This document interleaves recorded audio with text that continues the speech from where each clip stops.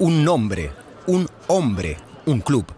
A sus 71 años, Alex Ferguson abandona el Manchester United después de 27 años al frente, y aunque no le resultó nada fácil tomar la decisión, finalmente consideró que era el momento adecuado para hacerlo. El entrenador de mayor éxito de la liga inglesa dice adiós al puesto que ocupa desde 1986 y lo hace a lo grande, tras una temporada espectacular donde acaba de conseguir su decimotercera Premier League, siendo a su vez el entrenador que más veces ha conquistado el título con un mismo equipo y su mayor éxito lo logró llevándose dos ligas de campeones. Junto al Real Madrid y al Barcelona, el United es uno de los clubes más renombrados del mundo. No cabe duda de que este veterano se va dejando el mejor legado posible.